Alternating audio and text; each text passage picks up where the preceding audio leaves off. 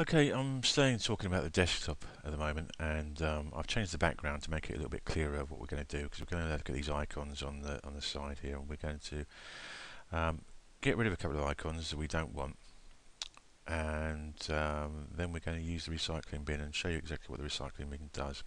Now, we've got an icon here which is for the Packard Bell accessory store. Now, I don't actually want that as part of uh, my desktop. So what I'm going to do is I'm going to get rid of that. So I'm going to right click that and third from bottom it says delete and I'm going to click on delete and it says are you sure you want to move this shortcut to the recycle bin now I can't emphasize enough this is a shortcut it's not the actual program and it is, it is a shortcut it's a pathway it's a pathway to the accessory store. So it's you're not losing anything at all apart from the the pathway. So say yes, that's going to the recycling bin. And we've got here, we've got the Packard Bell Game Zone. I don't want that either, so I'm going to right click and third from the bottom and delete. Are you sure you want to move this shortcut to the recycle bin? Yes, I do. I want to move that shortcut to the recycle bin. Okay, so Yes, off we go. Now then, hold on a minute.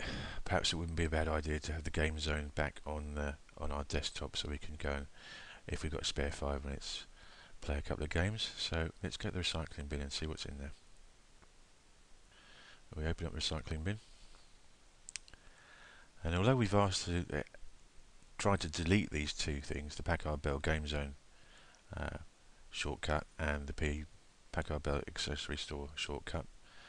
They haven't been deleted completely from our computer. They've gone to the recycling bin. And that's important to remember because when you do delete things, it will ask whether they want to delete them to the recycling bin.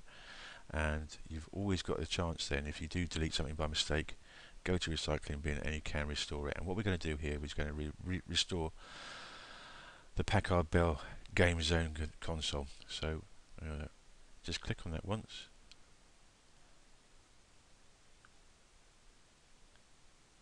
it says restore this item and I'm going to restore that.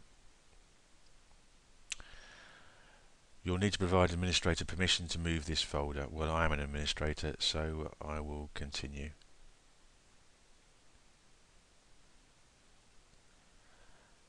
And if you're uh, using a computer, you should have administrator rights if you're dealing with deleting and uh, restoring stuff. So you should have administrator rights. There we are. What's left in the recycling bin now is that we've got the Packard Bell uh, shortcut to the accessory store, uh, but the game zone has gone. Let's click out of the recycling bin, and the game zone has gone back to where it was on the desktop. So that's how to delete the icons and rearrange the icons on the uh, on the, your desktop and how to use the recycling bin, how to delete things to recycling bin and restore them from recycling bin. Okay.